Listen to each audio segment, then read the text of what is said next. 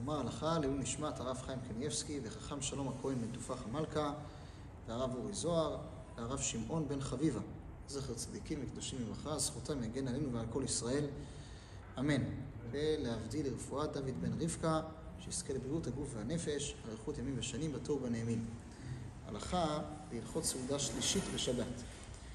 אנחנו יודעים שיש מצווה לעשות קידוש בשבת, גם בלילה וגם ביום.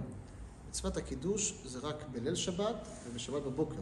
סעודה שלישית, אין מצווה של עשיית קידוש. למה? כיוון שהגמרא אומרת, נאמר בתורה, זכור את יום השבת לקדשו. את בא לרבות. מה בא לרבות? שלא רק בלילה לעשות קידוש, אלא גם לעשות קידוש ביום. אומרת הגמרא, יש היקש בין קידוש היום לקידוש הלילה. כמו שקידוש הלילה זה פעם אחת, הוא הדין קידוש היום גם פעם אחת. אז לכן, כיוון שעושים קידוש בבוקר, אין צורך לעשות בסעודה שלישית גם כן קידוש לברך על היין לפני הקידוש. אבל מכל מקום יש מצווה. מצווה לשתות יין בתוך הסעודה השלישית.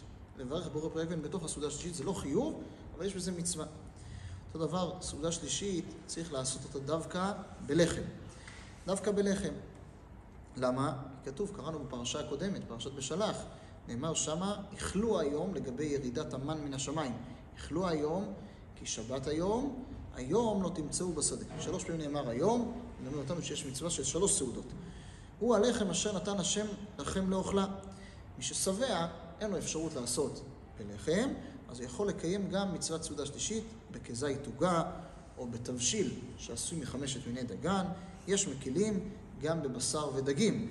מי שאין לו אפשרות לעשות בכל הדברים הללו, יכול לעשות גם כן בפירות. ברוך ה' לעולם, אמן ואמן.